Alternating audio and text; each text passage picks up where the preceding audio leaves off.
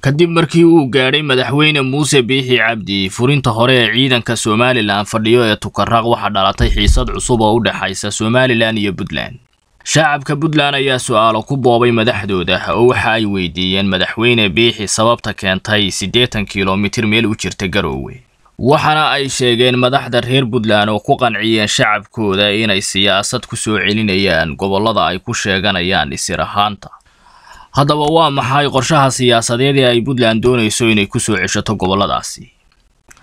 run ma tahay uma waxay ku jiraan abaabul siyaasadeed oo ay duulaan ku soo qaadaan maamul goboleedka soomaaliyeed ee puntland. Marka loo eego xuduudka afrika ee uu ingiriisku u sameeyey gobollada somalilan ka tirsan ma awoodi karaan inay kula wareegaan cudud ciidan. Qodobadaasi ayaynu ku qaadaa dhigi doonaa warbixinteennan ciidamada jamhuuriyadda somalilan ee milatariga ah ayaa kun sagaal boqol sideed iyo sagaashankii guuto ka soo ruqaansatay degmada dararweyne waxa ay degtay magaalada oog oo markaasi tuulo ahayd.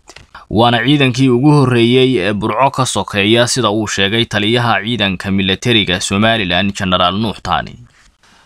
intaa wixii ka dambeeyey ciidanka jamhuuriyadda somalilan waxa uu isu sii fidinayay sidii uu xuduudka u soo xidhi lahaa ee u gaadhi lahaa xadkii ingiriisku u dhigay somalilan iyo soomaaliya. Waxaana ay maanta ku sugan yihiin ciidamada jamhuuriyadda somalilan magaalada tukaraq oo siddeetan kilomitir oo keliya u jirta caasimadda maamul goboleedka puntland ee garoowe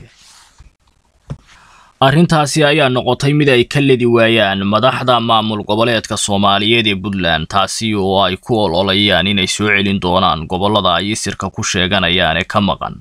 Waxaana madaxweyneyaal badan oo uu ka mid yahay faroole iyo cabdiweli cali gaas iyo madaxweyne daniba lagu doortay sidii ay u soo celin lahaayeen gobolladaasi. Dagaallo ay soo qaadeen oo aanay ku guulaysan ayaa waxa ay ku dhex mareen markii ugu dambeysay tukaraq oo ay hadda ciidanka somalilan fadhiyaan rabitaanka dadka gobolka sool iyo jacaylka ay u qabaan ciidanka jamhuuriyadda somalilan boqolkiiba toddobaatan ayay ku gaadheen magaalada tukaraq oo kulaalaysa xarunta gobolka nugaal ee garoowe qorshaha siyaasadeed ee ay puntland ku soo celinayso gobollada tani ay shacabkooda u sheegayso ayaa ah mid waxba kama jiraan. Sheegashada iyo doodda ay ku adkaynayaan gobollada tani inay puntland ka tirsan yihiin ayaa ah mid jaban taasi oo rukunka ugu weyn ee ay u haystaan ay tahay isir ahaan ayaanu gobolladaasi u degnaa. Puntlandna dadkii aas-aasay ayay ka tirsan yihiin. Xaalad milatari marka ay noqoto arrintuna ma taagna meeshii qorshe siyaasadeed wax lagu soo celin lahaa. Si kastaba ha ahaatee tegitaanka madaxweyne muuse biixi cabdi ayaa waxay dhalisay xiisad cusub iyo su'aalo badan oo ay shacabka puntland weydiinayaan madaxdooda kuwaasi oo aanay ka helin jawaabtii saxda ahayd